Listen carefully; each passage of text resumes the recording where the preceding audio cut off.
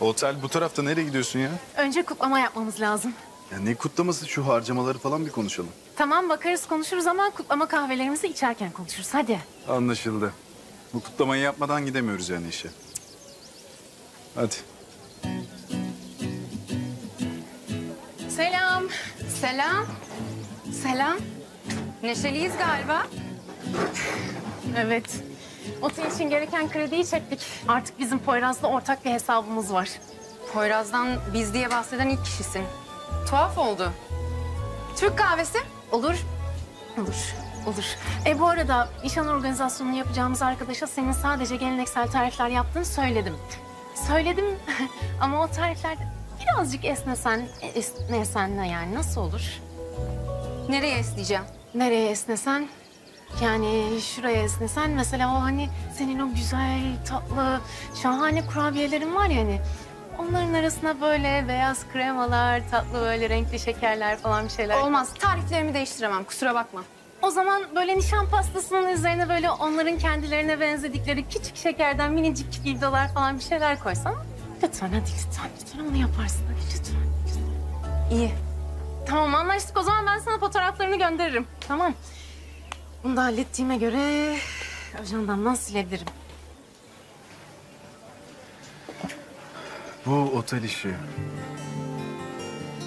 çok önemli değil mi senin için? Evet Başaracağız. Hiç korkma.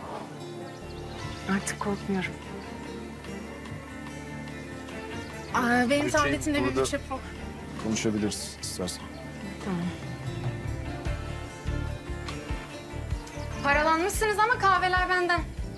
Yok Gerek yok. gerek yok aynen. Var var. Şey e, bu ustaların verdiği rakamlar yanında mı? Yok yanımda değil de aklımda hepsi. Ha fil gibiyim unutmam diyorsun yani. Yani fil gibiyim demiyorum.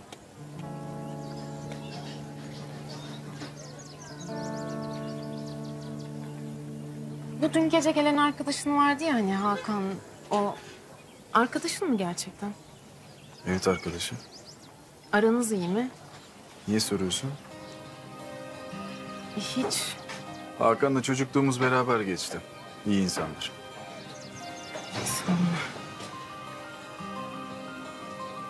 Yani diyorum ki bana hiç öyle bir his vermedi. Yok canım yanılmışsındır. Ya uzun zamandır tanıyorum ben Hakan'ı. Hiç de bir yanlışını görmedim. Gece önemli bir şey konuşacaktı seninle. Ha yok ya. Annesini yalnız bıraktı ya ona canı sıkılıyor biraz. O kadar mı? Yani sadece bunu mu konuştunuz?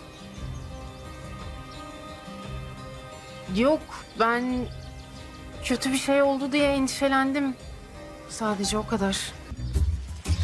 Peki Eylül'le Adan'ın nişandan sonra kalacağı oda bitti mi?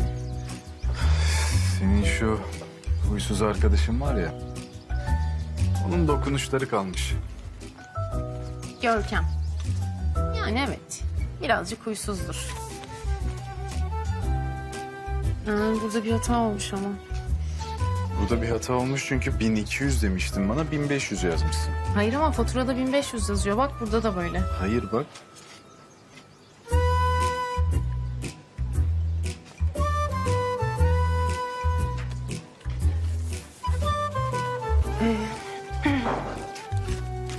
Şey... Avize demişken... Bizim o resepsiyondaki avizeyi de değiştirmemiz lazım. Oraya böyle havalısından bir tane bir avize bulmamız lazım. Ya bize değişimine gerek yok. Resepsiyonun kendi avizesi var. Yüz yıl önce varmış.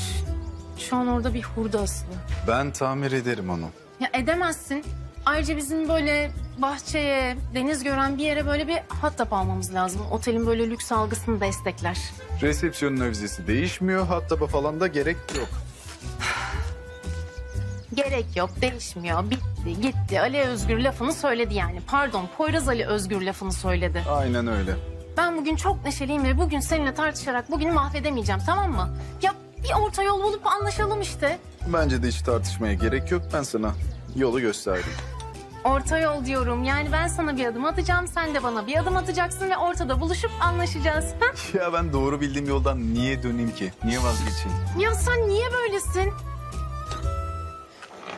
Ya bak tamam tamam anlaştık dur gitme öyle hemen. Ben o vizeden vazgeçtim. Sen de hatta anlaşırsan ikimiz de gayet mutlu oluruz.